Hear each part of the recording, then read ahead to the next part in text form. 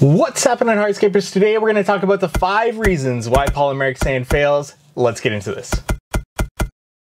So with my business model initially, I was doing a lot of paver maintenance, lift and relay work when I first started my business. That means if there was a problem with pavers, clients would reach out to us, we would come out, assess and fix.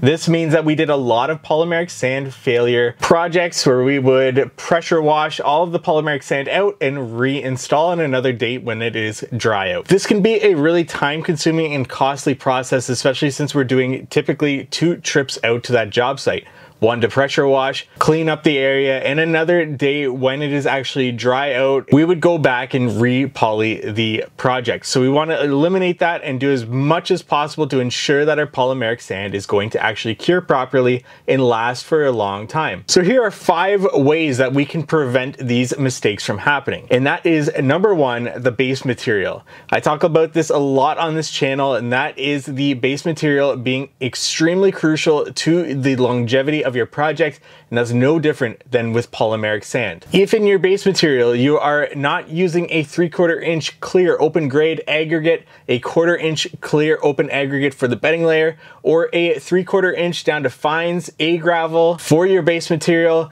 with a quarter inch bedding layer or a concrete sand bedding layer, and if you're deciding to use stone dust that doesn't allow water to drain freely through it, you will see failure in your polymeric sand. That stone dust will allow water to remain remain underneath your pavers. And when polymeric sand is activated, it needs to cure from the bottom up. That water underneath your pavers will prevent that polymeric sand from curing, and that will lead to the failure of that polymeric sand. So the base material is incredibly important to the longevity of your project, as well as the longevity of that polymeric sand. The next one is the joint sizes. This means widths and depths. There are different polymeric sands for different widths. That means the joint width. For example, if you're installing a tight joint joint width, there's a different polymeric sand for that as opposed to a four inch joint width with something like flagstone if that's the width of your joints. Typically when we're installing flagstone, we're trying to get that width down to a minimum, but still whatever joint width you have, you should be looking for the polymeric sand associated with that joint width. So take a look at the material you're installing, see the joint width, and make sure that your polymeric sand that you're choosing is applicable to that joint width.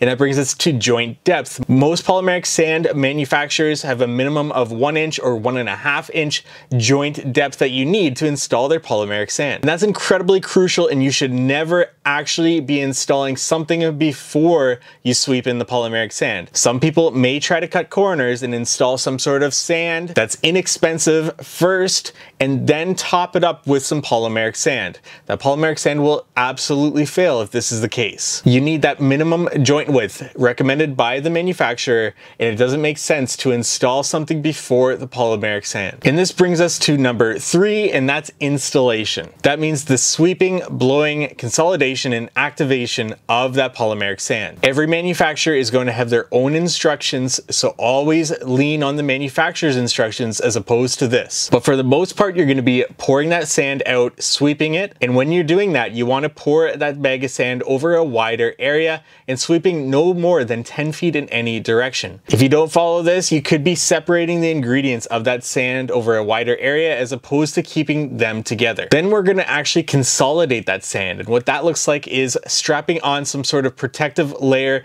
to your compactor or using a roller compactor or placing something over your pavers to prevent them from chipping and cracking and running a compactor over those pavers to ensure that that sand gets down to the bottom of the joint and you're seating the pavers into the bedding layer. You'll notice that the sand goes down quite a bit and failure to actually consolidate will leave air pockets which will lead to erosion in that sand and lead to failure. Consolidation is a crucial step in the polymeric sand installation process and should never be overlooked. And this may need to be repeated time and time again when you sweep in, consolidate, sweep in, consolidate to ensure that that polymeric sand is reaching to an eighth of an inch below the top of the paver or below the bottom of the chamfer. You do not want to install that polymeric sand all the way to the top of the paver. The next step would be blowing that polymeric sand and you want to make sure you get off all the dust and residue so that doesn't harden to the surface of the pavers. And then finally, the activation.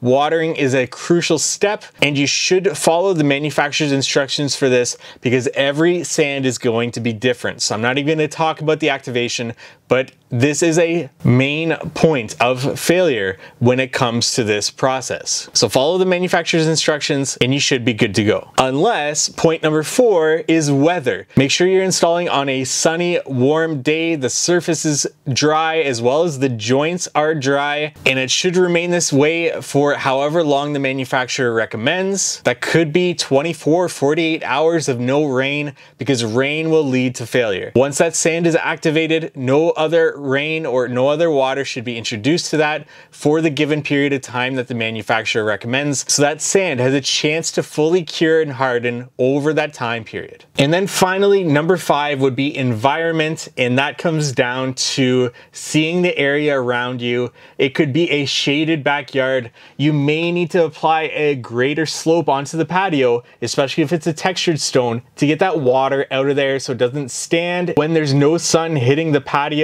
because standing water will cause growth of organic materials on the surface and in the joints of those pavers, but it'll also lead to that sand not curing over a period of time and slowly eroding away. So taking a look at the environment around you, deciding what slope you're going to apply on that patio is a crucial step in the process to ensure you're not having standing water on your project over that period of time after a rainfall. And these are the five reasons why polymeric sands fail.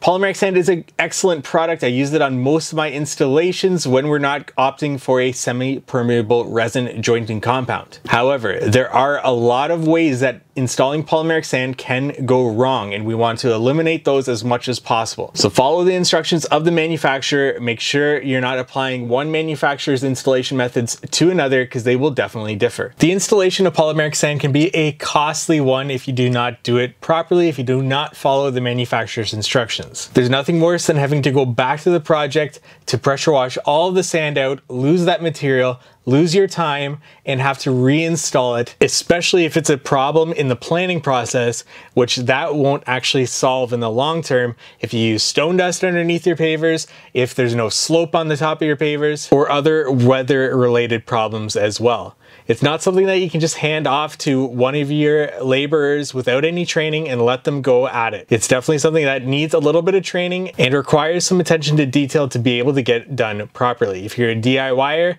definitely seek a device.